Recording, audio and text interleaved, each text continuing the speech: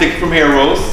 Um, just checking out my album program, I'm a secret dancer. Um, oh, I'm stuck at a length. I'm a 4A, 4B. I shampoo and deep condition weekly and have even tried co-washing midweek for moisture, but it does not change being stuck at the same length for two years. Aha! I color my hair every two weeks black to cover gray. So obviously your hair is growing if you have to color those roots. obviously your texture is not being cared for properly because it never stopped growing. It never stops growing. Um, 4A, 4B, your hair grows as quickly as any white woman with hair down to here. Down here. But it just never has a chance in hell. Um, because it's like 200 years of reconditioning. It's like you just won't wet your hair.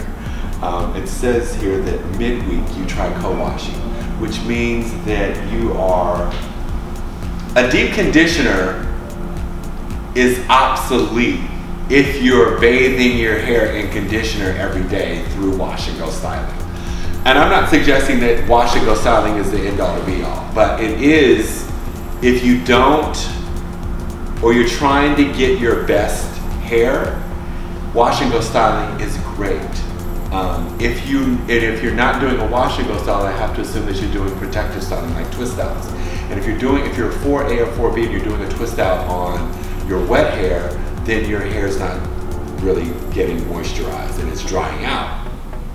And if you're shampooing, please, if you said you were shampooing and deep conditioning weekly, and you've even tried co-washing, it means that you are shampooing your hair, from what I'm getting, you're shampooing your hair with traditional non or sulfate-free shampoos that lather up, which have nothing to do with your hair. It's like putting gasoline on your hair.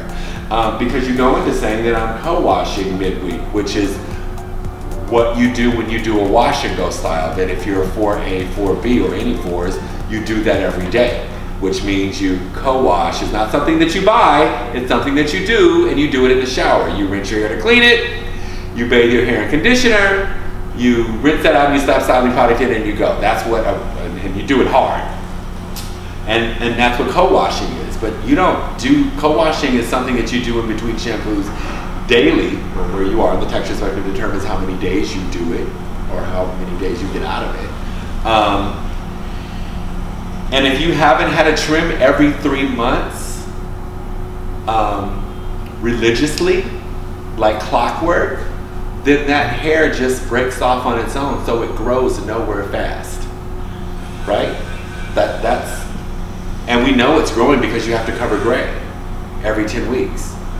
Um, so yeah, I'm sorry. It's you got this whole thing really mixed up, and maybe go back and look at some of the previous videos and then start to put two and two together. Maybe how it was, maybe you're not following certain things. And listen, if you don't want to do a wash and go style, then don't do it. I'm not suggesting again that that's all you can do with natural hair. But the ideal through caring for your hair or incorporating into your shower and, and uh, your shower routine, your hair care and styling routine into your shower routine, excuse me, um, means that you're caring, you're preventing your hair from ever drying out through frequent conditioning. Um, and that you know what to do. If you don't want to do wash and go style, you move into another approach to your hair uh, styling routine that is also protective of your hair. Um, I hope this helps.